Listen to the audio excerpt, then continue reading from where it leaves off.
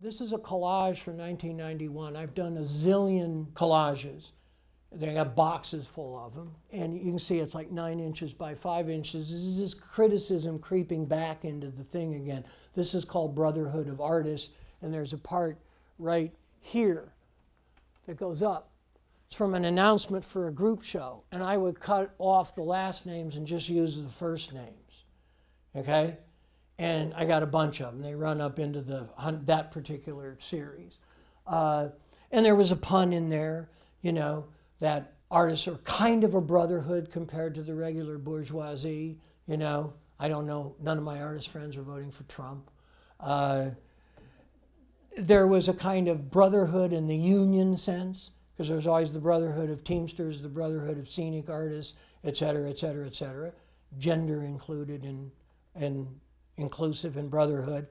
But there was also a little bit of irony uh, in the title than that you heard me say before. I didn't really think that much about community. Uh, so there wasn't any uh, brotherhood. But the effect of criticism, and I use this analogy once in a while. Somebody says your art and criticism, writing criticism and your art affect each other.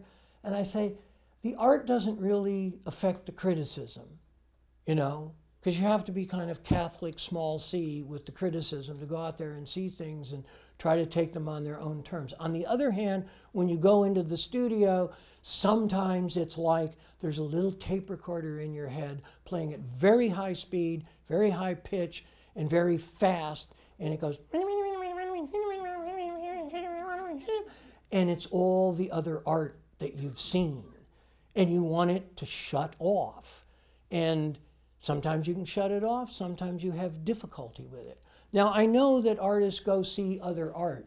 That's not the point, that you should hole up and not see other art. But there's a difference between seeing it because you want to see it, seeing it because it's a friend of yours, seeing it because you've heard about it show and you might check it out, and seeing about it because there's some sort of journalistic responsibility to cover the waterfront.